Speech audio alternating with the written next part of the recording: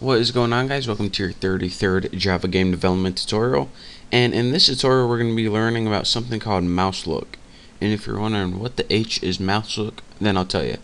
Mouse look is like this. If you ever played a first person shooter especially on your computer like um, Doom probably or Modern Warfare you know that whenever you want to look around all you have to do is move your mouse on the screen.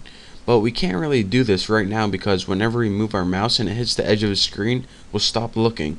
So what we want to do is we want to be able to do 360s and give our player total freedom of wherever they want to look around. So we need to make sure that our mouse never hits the edge of the screen.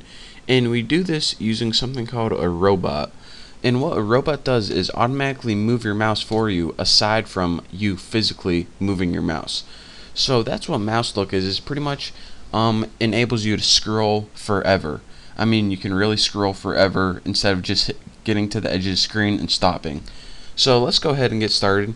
Um, we'll go ahead and I already made a class. I named it look. And make sure you have all your imports right here.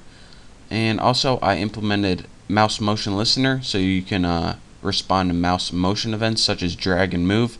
And also key listener right here and I implement key listener because whenever we want to escape our program uh, we need a key to escape it and that's going to be the escape key. So let's go ahead and get started.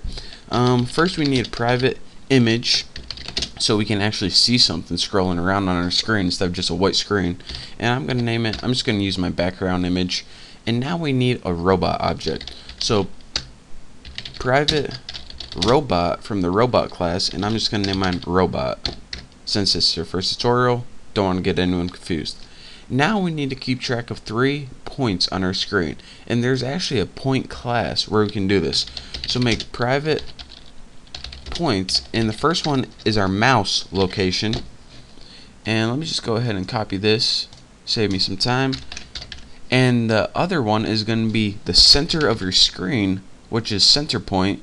And the last one is going to be that background image. So we're going to be pretty much keeping track of three things location. The mouse location, the center point on your screen's location, and the images or that background image right here location. And now we need one more boolean value. So private boolean centering.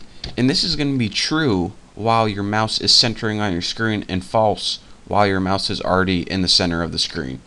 So that's what all these variables do. We're going to be actually using them. Well, let's go ahead and get right into it. The first method of is, is of course our init, like always. Public void init. And what this is going to do first and foremost is called our super.init so we can get all our good classes from last time and all that good stuff. And next, let's go ahead and actually take these point objects and set them equal to something. Mouse equals new points and we're going to be doing this for every point. And now once we do this we can actually start giving it some value. So mouse center of your screen and your image. So pretty much all these three things are locations on your screen. So now we'll go ahead and since we aren't centering anything right now centering equals false. Now aside from that the only really variable that we didn't work with is the background and the robot. So let's go ahead and do that right now uh, after we create all these, what we want to try is we want to set that robot e actually equal to a new robot object so we can use it later on. After this, what we want to do is we're going to make a method to center the mouse on your screen and it's going to be called recenter mouse. So we're going to make a robot object we're going to get a method that called recenter mouse and what this does is pretty much take your cursor and put it back in the middle of the screen and this is how your mouse is never going to hit the edge of the screen. And what this is going to do is it's going to give you your center points of the screen X and Y. So aside from that we're going to take mouse to X which is the location of the mouse X value which is left and right and set it equal to the center of the screen to X so this recenter mouse is going to give you your center of the screen. And now we're going to set the mouse equal to that point. So therefore, our mouse is in the middle of the screen. How easy is that? So now your mouse's Y value is equal to the center of the screen and its Y value. So now our mouse should be chilling in the center of the screen. and now what do we want to do after that well we got to go ahead and catch exception name it ex um, might want to actually put an exception here. Just put like system out print line and put exception 1 and what I like to do here's a neat little thing.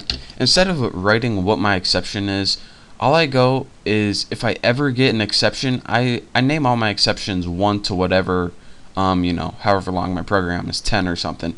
Then if I ever print out an exception all I have to do is scroll through until I get to that exception then look what code that didn't run. So instead of trying to read alright unable to create a robot or unable to recenter mouse instead of me having like 80 recenter mouse methods I just go to that exception. So you know that's a neat little tip. You can write anything you want in there but just thought I'd throw that out there. And now let's go ahead and do a couple more things. Set our window object equal to s dot get full screen. And if you're wondering alright how can we use a screen object when we never even created one? Well if you remember in our superclasses initialization which was the core we created a screen object. So since we inherited everything from there we were able to create a screen object from right there. Now we need to go ahead and add mouse motion listener and it's just going to be this which is the window and window.add key listener and that's going to be this as well which is again the window hasn't changed next set your background equal to new image icon. And remember it needs to be in string. I put mine in C. I put it in a folder called test. And I put it in a file called back.jpg and now after that you just need to get image using the built-in get image method. And we are good to go.